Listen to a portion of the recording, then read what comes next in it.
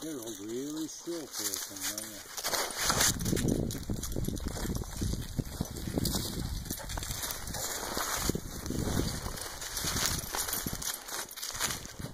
down there a little watering hole and see how many tracks are down there. All right.